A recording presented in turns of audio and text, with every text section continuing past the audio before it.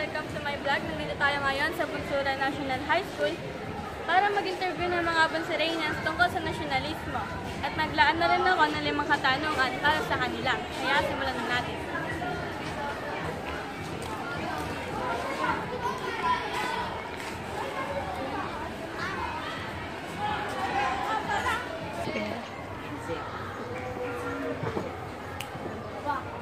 Ano ang inyong ideya tungkol sa nasyonalismo? Paano masasabing nasyonalista ang isang tao?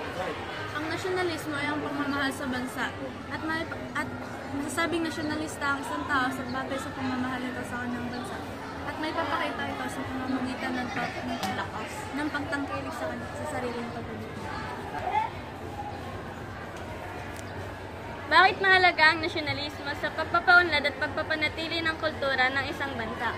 Dahil ang nasyonalismo ay nagpapakita ng pagmamahal sa bayan na isang paraan upang mapanatili ang ang pa, pagpapaunlad at pa- pananatili ng isang bansa.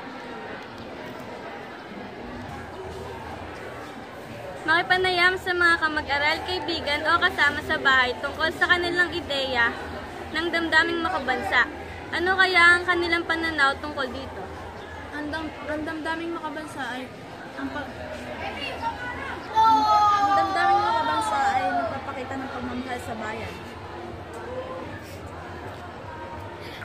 Kung ang ating bansa ay magkakaroon ng maraming mga Pilipino na may gaga- kagaya ng sa iyo, ano ang magiging epekto nito sa ating bansa? Mas madadagdagan ang tatangkilik sa produkto ng ating bansa. Ano ang magagawa ng mga programang pang-edukasyon sa pagpapanatili ng damdaming makabansa upang mapanatili at mapaunlad ang ating kultura? Maraming bagay ang maaaring magawa ng programang pang-edukasyon para para mapanatili ang damdaming makabansa tulad na lamang ng pagtuturo sa mga bata ng mga nakaugalian noon pa man.